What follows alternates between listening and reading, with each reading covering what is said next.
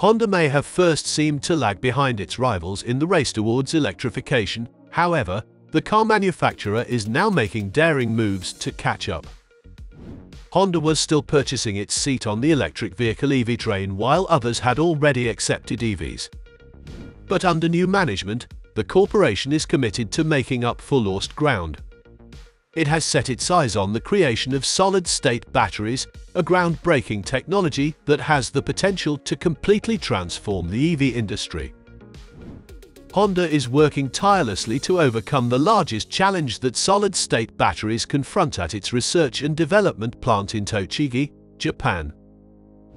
Honda has taken on the challenge of autonomously bringing solid-state battery technology to the people by the end of the decade while working with partners like General Motors and Sony on other electrification projects. Honda's solid-state battery innovation revolves around a fabric buffer layer that was created to stop dendrite growth while maintaining battery performance. Honda's researchers are still in the early testing stages, but they are aware of the importance of their task and realize that they must move quickly to achieve their goal. To begin with, it's important to comprehend the difference between solid-state batteries and the present lithium-ion batteries utilized in today's electric vehicles, so as to fully understand what this development may imply for the automobile industry. A liquid or gel-based electrolyte is used in the lithium-ion batteries found in the majority of EVs on the road to transport charged particles from one electrode to the other. Unfortunately, certain problems arise when a liquid electrolyte is used, which has raised significant safety concerns. The driver and any passengers could potentially be endangered by these batteries, which are prone to leak or overheat. Lithium salts and organic solvents which are both highly flammable and have the ability to catch fire when exposed to oxygen, often make up the composition of the electrolytic material. Furthermore, these batteries are known to age significantly more quickly, requiring the replacement of pricey batteries in automobiles over time by users. Lithium ions are physically separated from one another in the electrode during each charging cycle of the battery, which causes the electrode to enlarge the material eventually contracts back to its original size. But the ongoing cycle of growth and contraction causes tiny fissures that make it harder for the battery to even retain a charge. Solid-state batteries could completely alter the game in this situation. Solid-state batteries replace the liquid electrolyte with a solid electrolyte, as the name implies. The risk of overheating and leaking is thus greatly reduced by the solid electrolyte. Likewise, solid electrolyte batteries have a higher energy density than liquid-ion batteries due to their more stable structural design, offering EVs a far greater range on a single charge. Solid-state batteries may be manufactured in more compact shapes due to their higher energy density, which prevents the material from expanding and contracting as lithium-ion batteries do, which causes deterioration the automobiles will be able to charge more quickly as a result.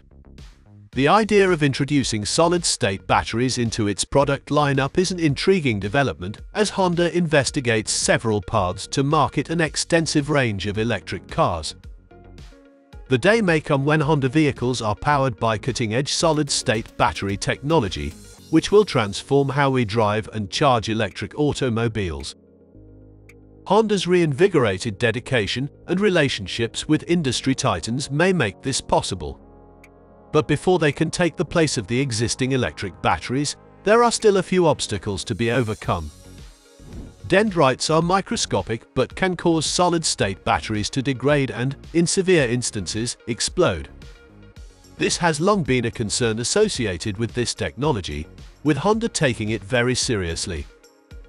Solid-state batteries are not without debate and issues, despite the fact that they are thought to be the next big thing in the development of EVs. Since their original testing, solid-state batteries have seen dendrite development and internal component deterioration, which has led to the failure of previously overcharged batteries. The fact that these batteries aren't expected to catch fire is one of the key advantages they have over lithium-ion batteries. However, dendrites have the potential to grow out of control, and someone could plug in their car and watch it blow up. Dendrites, the persistent problem with solid-state batteries, are the focus of an ambitious proposal recently unveiled by Honda. Dendrites are basically microscopic, hard lithium metal tree-like structures that may develop within a battery. For those who are unaware of what these are or do, they can grow inside batteries. A solid-state battery may eventually be unable to cope with these spurs, which might have disastrous effects on the battery's ability to generate electricity and charge it. In the worst-case scenario, the battery and the car can be destroyed. This can cause deterioration to occur notably more quickly than usual. Honda is encasing the solid electrolyte with a polymer fabric that will serve as a barrier or middle ground for the inside of their existing and future batteries in order to prevent this from transpiring. This additional polymer fabric will prevent the inside of the battery from growing dendrites, potentially preventing its potential disintegration in the future. The fabric lies between the positive and negative electrodes and the electrolyte, reducing the likelihood of dendrites and early deterioration of the solid-state technology's component parts. It's also important to note that Honda recognized they could create EV batteries that could live much longer than the anticipated lifespan of 10 years by putting the polymer border inside the solid-state batteries, according to the scientists and specialists working on this project. Honda wants to eliminate dendrites from solid-state technology within the next 10 years through collaborations and joint research. Notably, Honda is devoting significant resources to overcoming the largest challenge which solid-state batteries meet at their research and development center in Tochigi, Japan. Honda is paving the road for the manufacture of solid-state batteries without worry about combustion, premature aging, or product failure by partnering with companies like General Motors and Sony. The potential for Honda's EV fleet to have a significant impact on the current market due to the new and better polymer fabric casing is one of the most interesting elements.